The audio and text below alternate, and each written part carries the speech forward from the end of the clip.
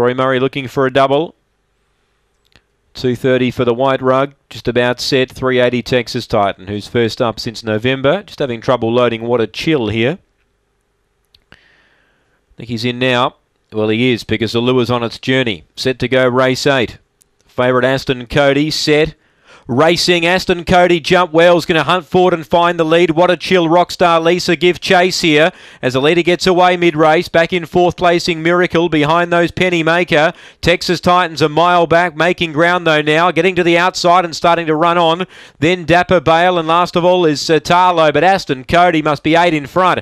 Texas Titans about to run to second. What a chill back to third from Rockstar Lisa. Aston Cody straightens five clear. Texas Titan is taking ground off it. Aston Cody stops stopping.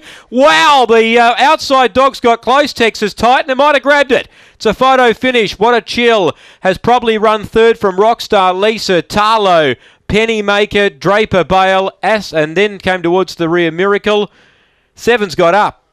Texas Titans got up. Wow, what a win. Three second, Aston Cody. And six third, what a chill. Eight fourth, Rockstar Lisa. Well, wow, that is a big win. First up, we knew it would keep coming. And it's got up. Texas Titan for Nathan Wilson. Charged home and got up by neck. Huge run. Second, three, Aston Cody, who had the race shot to bits. Must have been five clear turning for home. But uh, to the credit of Texas Titan, we know he keeps coming. Still, he just turning for home. You just felt the margin was going to be too big for him to, to pour back. But Wow, that's a big win. Texas Titans got up.